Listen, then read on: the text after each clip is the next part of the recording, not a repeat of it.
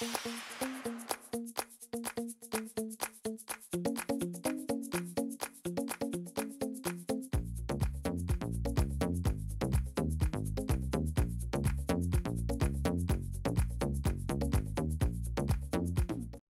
my fellow crafters, Michelle here. Welcome back to my channel. If this is your first time here, then welcome. I'm so happy you found me. I have a beautiful flamingo wreath for you today.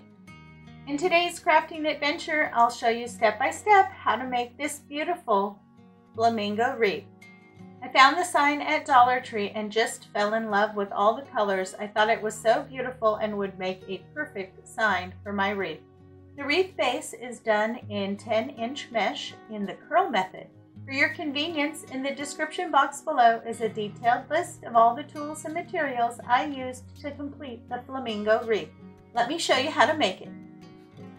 For today's project, you're going to need a 14 inch wreath form that you can turn into a working wreath form. If you have not seen me put one of these together, I will put a link in the description box below to a short video that'll show you how to do this. Uh, if you don't have access to the description box, you can also find it in my playlist under tips and tricks for beginners. You will also need a roll of 10 inch by 10 yard deco mesh. Now I picked this one up at Hobby Lobby. Hobby Lobby about every other week or so will have all of their deco mesh and their ribbon at 50% off and that is when I picked it up. Now this one regularly retails for $7.99. So let's see. So I got it for about $4 and you only need one roll to complete the base on this wreath, which makes it very affordable, even more affordable than Dollar Tree Deco Mesh. Now the mesh that I'm using is called Poly Pro Mesh Ribbon. It is weatherproof but it does state on here extended exposure to direct sunlight will cause fading and loss of shape. So just keep that in mind if you're wanting to put this wreath outside. Now to prepare your mesh, you want to cut it into strips at 10 inches. Now I prefer to use a rotary cutter. I like it because I get a much cleaner and more even cut, which helps you to reduce fraying. But if all you have is scissors, that will work too. Now I picked this little rotary cutter up at Dollar Tree for $1.25. It works very well. It usually lasts me about eight months. Okay, you will need two pieces at 10 inches per bundle. I'm going to go ahead and finish prepping the rest of my mesh here and then we'll come back and we will prep our ribbon. I have all my bundles cut and it gave me exactly 18 bundles and this is the amount of mesh I have left from that roll. We're gonna uh, cut up our ribbon now. I got this package, I wanted to show you what it looked like off of Amazon. And it comes with six different types of flamingo ribbon. It is all on a burlap base. I thought that was perfect. It gives me lots of options. And then I pulled this one out. This actually came from Dollar Tree from their St. Patrick's Day uh, selection, but you can use any green and white check. So I will be putting these two together. And then I will be putting these two together. These guys I'm going to save for another day. But I will link in the description box below the link to Amazon to uh, get this package of flamingo ribbon. I have all my ribbon prepared, all my meshes cut. I still have quite a bit of the ribbon that I used. I even still have some of the Dollar Tree ribbon. So I have of each pattern, six pieces cut at 12 inches. Today, to make my bundles, I'm going to be using the uh, Bowdabra.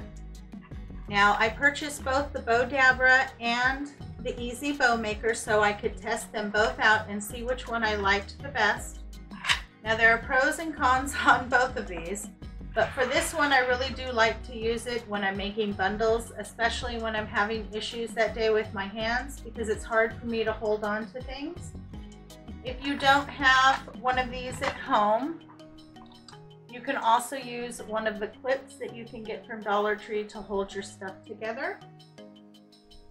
And I laid out my ribbon here in the sections that I'm going to be adding them. So these are the two ribbons that go together for that pattern. And then these are the two ribbons that go together for that pattern. And I'm just going to alternate between the patterns as I go.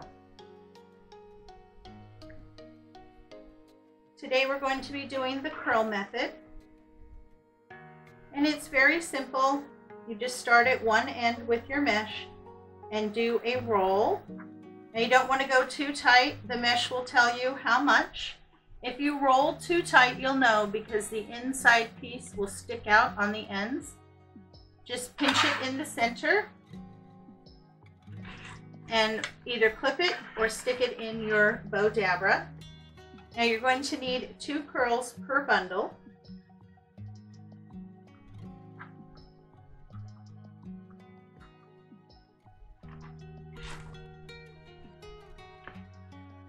And then you're going to add two ribbon on top of that. Lay them on top, fold them in half, find the center, scrunch the center, and add that.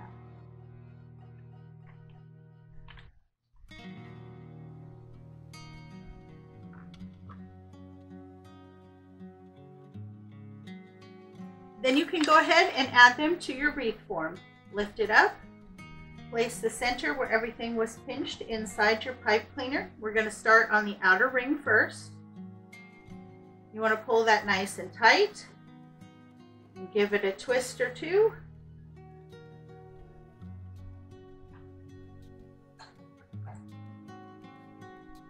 And then you can trim your pipe cleaners. I usually leave just about a half an inch. And then you want to push those down so that they face the back.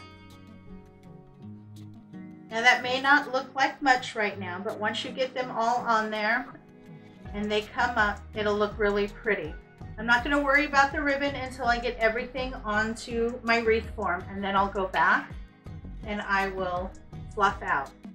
Now when you're going around your outer ring here, you're only going to put ribbon in every other one. So this next one, I'm only going to do the deco mesh. If you enjoy hauls, crafts, and learning new craft techniques, please consider subscribing to my channel.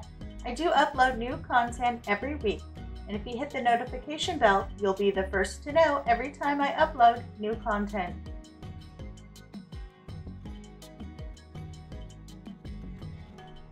Also, when you are placing your ribbon, you want to make sure when you're going on around on the outside that your ribbon bundle is on the pipe cleaner that's in between the two crossbars. The reasoning is when you go around and you do the inner ring, you're going to be putting it on every one, and that's every crossbar. So this way it'll be on the crossbar on the inner ring, and on the outer ring, it'll be in between. So it'll look nice and even throughout your wreath. So the next one here will have ribbon, and I will switch to my next pattern.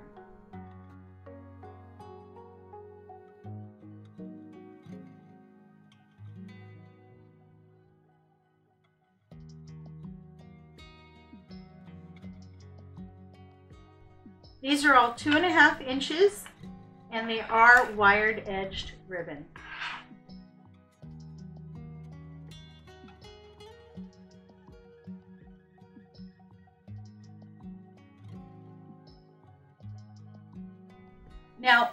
When you're um, fluffing up your wreath, you want to make sure that your uh, bundles are facing this way and not this way. Otherwise it won't look as full and you'll have a lot of mesh in the middle, which is not what you want. So you want to make sure that they're facing side to side like that. That way they will bunch up and it'll look much fuller and nicer. I'm going to finish my base and then I'll come back and we'll move forward and decorate. Okay, I have all my bundles on and I'm going through and just kind of fluffing everything out, making sure everything's in the right position. I've already gone through and fluffed out my ribbon on the inner ring. I'm working around on the outer ring. And as I fluff my ribbons, I like to kind of crisscross them. So on one side, I'll pull one pattern up and the other one down, and on the other side, I do the opposite. And as you fluff your ribbons, you want to pull all your ribbons so that they're facing the outside of the wreath. As you can see, it looks so cute with all that ribbon and that beautiful pink base. The sign that we're going to be using is this one. I found it at Dollar Tree. I thought it was just absolutely gorgeous. I love that beautiful soft pink with the flamingo and I really loved all the greenery around.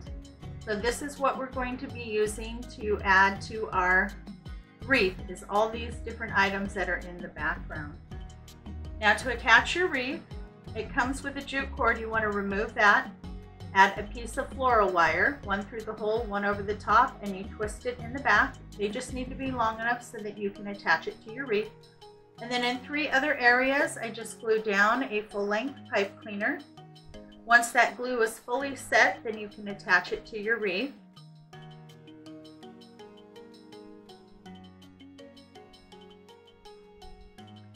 And I'm going to be placing this right in the center. Now once I get that placed, I'll go back and kind of refluff some of my ribbon so I can pull it down. Now this is the reason why I'm pulling all my ribbon away from the center so that I'm not covering it up with my sign. Going to go ahead and get my sign attached. I have my sign on. I think that looks really pretty. I love how it goes so well with the ribbon. Now the final item that I'm going to add to this wreath is I'm going to add some of these florals and some of these uh, greenery. This is a hibiscus garland that I picked up at Dollar Tree. I just picked this up on my last trip. And they had two colors to choose from. They had this really pretty pink and they also had kind of a yellow orange color.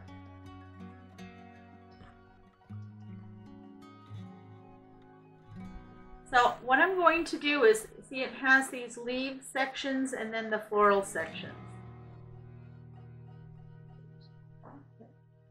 Okay, so it looks like they just pop off. So what I'm first going to do is take a flower and I'm going to glue it into the center of the greenery there. And usually uh, pull this little plastic thing off of the back of the leaves. That way you can take the little spike and push it through and get it to glue on a little bit better.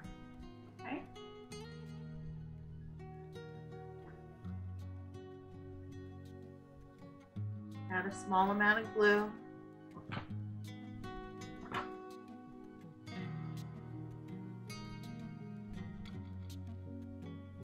And then push it through so that it's on the back of your little bloom there. And then we're going to take these and glue them into the wreath. And again, just kind of play with them, set them, arrange them how you like them. And then once you find their placement, then you can glue them in. Just add some to the back and then glue it into the deco mesh.